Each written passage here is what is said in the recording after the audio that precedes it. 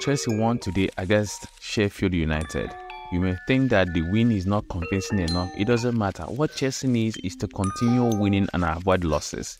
Even draw will be okay for them because this is a new team that Pochettino is building.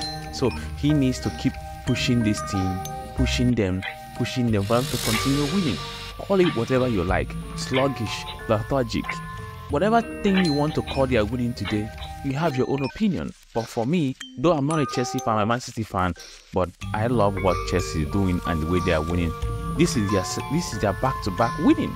So it's a huge winning for them.